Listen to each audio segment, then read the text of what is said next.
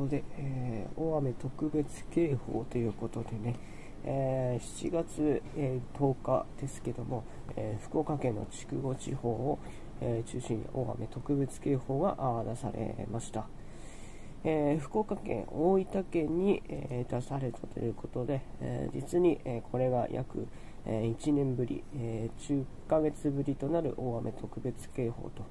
いうことで、え前回は台風14号で、えー、特別警報、えー、また暴風特別警報とかっていうのも出されていましたね、まあ、それ以来ということにはなるかなと思います。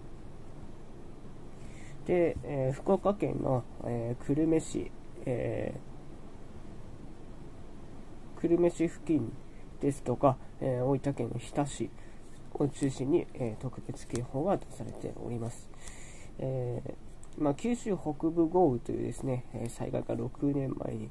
えー、ありまして、その6年前とあ似たようなところでの、ねえ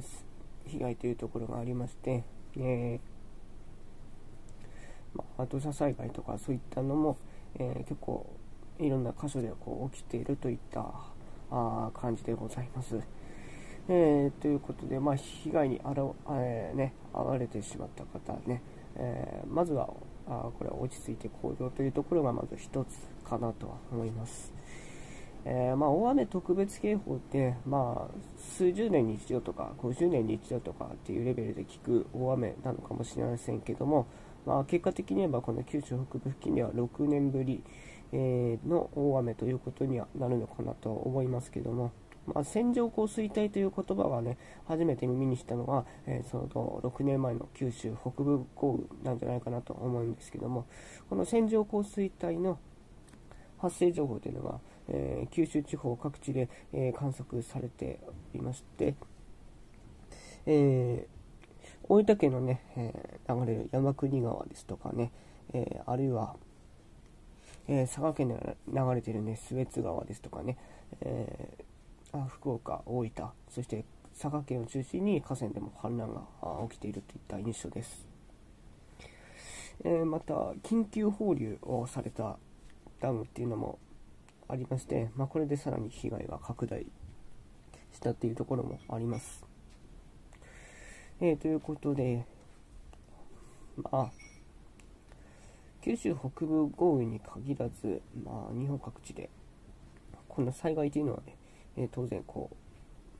う、まあ、起きるということでね、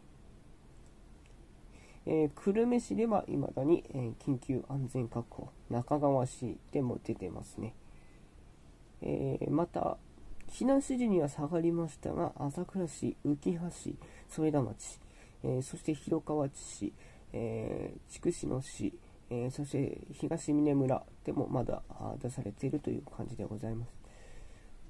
まあまだまだその、ね、危険性っていうのはまだ高いと。少しの雨でも、えー、地盤がね、えー、こうのり面が崩れたりするんだっていうこともありますね。二次被害とかっていうところもね、えー、まあ、懸念されるということですけどね、えということで今回の動画は以上です。ご視聴ありがとうございます。